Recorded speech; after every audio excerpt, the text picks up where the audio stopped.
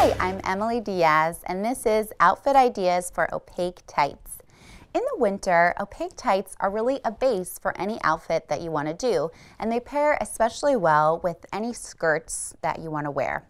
For example, here we have a suede skirt paired with a geometric print sweater, and this would look beautiful paired with black opaque tights. The sweater is going to give it that pop of color, and the skirt's going to show off the tights and your legs.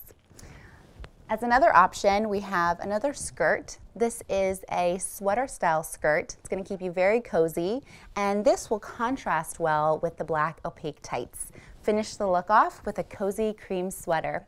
Finish the look with an amazing leather bag with zipper detail to make a really edgy, fun look that's going to elevate your black opaque tights to the next level.